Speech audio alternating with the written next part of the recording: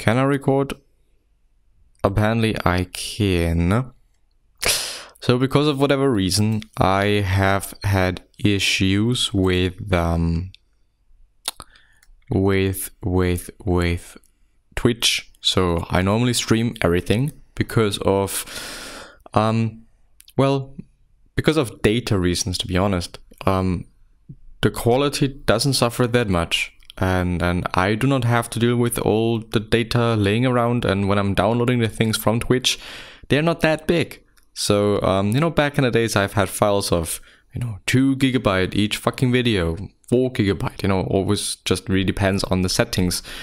And it really isn't nice you know it, it, it really is not. Um definitely not nice to to handle not nice to to work with. Um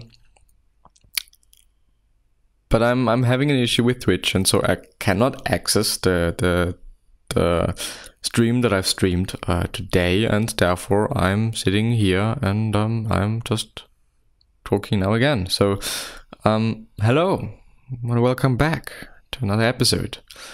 Uh, we're gonna probably talk about philosophy. Um, I do want to see if there's a philosophy subreddit. Reddit. Let me have a look. Philosophy Reddit. I mean, there is something. So let's check that out really quickly. It's not going to be a long one today, therefore, because, I mean... I mean, uh, no, that's definitely not what I want to have. And this is... There we go. Everything is fine. And then there is a promotion for Call of Duty. Nice, amazing. That's definitely what I want to have on a fucking philosophy subreddit. How mortality changes in a foreign language, fascinating ethical shifts come with thinking in a different language. That sounds interesting.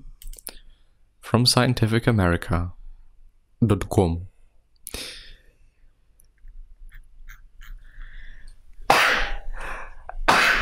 Ah. I'm sorry. Um, it is an article from 2016, actually, and um, we're gonna have a look. What defines who we are? Our habits, our aesthetic tastes, our memories. If pressed, I would answer that if there is any part of me that sits at my core that is an essential part of me, who I am, then surely it must be my moral center, my deep seated sense of right and wrong. And yet, like many other people who speak more than one language, I often have the sense that I'm a slightly different person in each of my languages. More assertive in English, more relaxed in French, more sentimental in Czech. Is it possible that along with these differences, my moral compass also points in some different directions depending on the language I'm using at the time? Psychologists who study moral judgments have become very interested in this question. Several recent studies have focused on how people think about ethics in a non native language, as might take place, for example, among groups of delegates at the United Nations using a lingua franca that hash out a resolution. The findings suggest that when people are confronted with moral dilemmas, they do indeed respond differently when considering them in a foreign language than when using their native tongue. In 2014, a paper led by Albert Costa, volunteers were presented with a moral dilemma known as the trolley problem. Imagine that a run runaway trolley is carrying toward a group of five people sitting on the tracks unable to move. You're next to a switch that can shift the trolley to a different set of tracks, thereby sparing the five people but resulting in the death of one who is standing on the side tracks. Do you pull the switch? Most people agree that they would, but if the only way to stop the trolley is by pushing a larger stranger, pushing uh, a large stranger off a footbridge into its uh, into its path, people tend to be very reluctant to say they would do this, even though in both scenarios one person is sacrificed to save five. But Costa and his colleagues found that posing the dilemma in a language that volunteers had learned as a foreign tongue dramatically increases their stated willingness to shove the sacrificial I'm sorry, sacrificial language I'm sorry, person of the footbridge from fewer than 20% of respondents working in their native language to about 50% of those using the Voreigen one.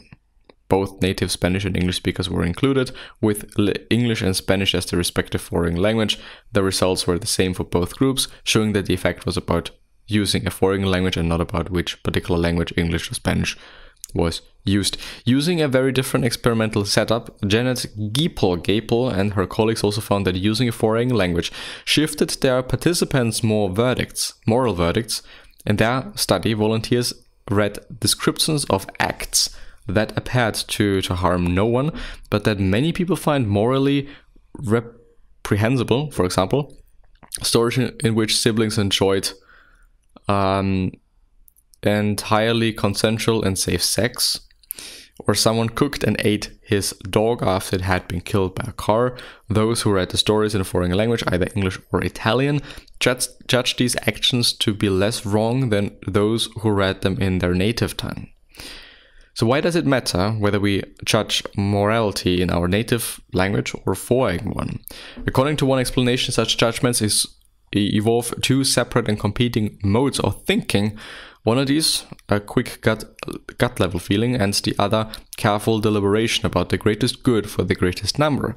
When we use a foreign language, we unconsciously sink into the more deliberate more mode simply because the effort of operating in our non native language cues are our cognitive system, cognitive system to prepare for strenuous activity. This may seem paradoxical, but it is line but it is in line with findings that reading math problems in a hard to read font makes people less likely to make careless mistakes, although these results have proven difficult to replicate.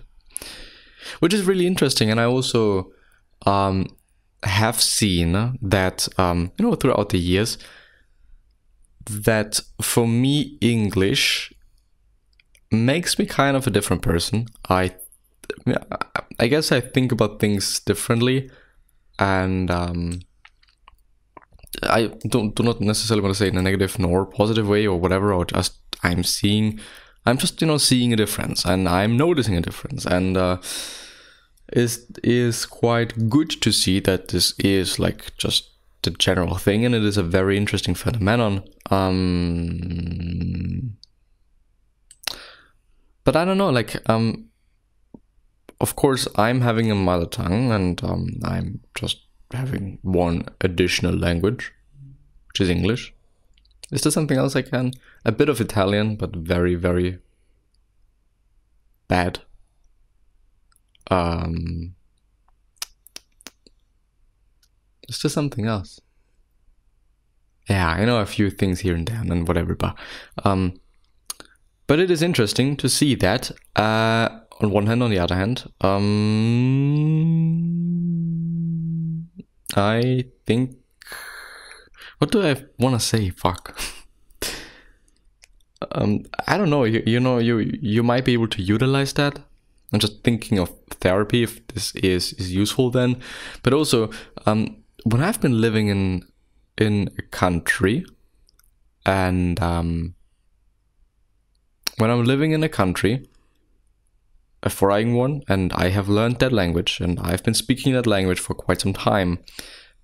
You know, is it then still like a foreign language? You know, does it still matter then? Does it still just make a difference? Is it still like effort for me, like strenuous to just you know uh, speak the other language, but also um, just you know think in in the same way as in my mother tongue.